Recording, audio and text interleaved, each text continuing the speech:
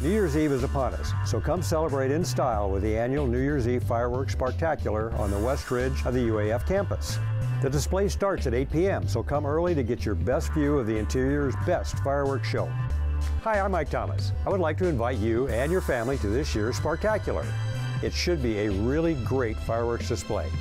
Hope to see you all there. Many thanks to all of our sponsors who make our annual New Year's Eve Sparktacular happen.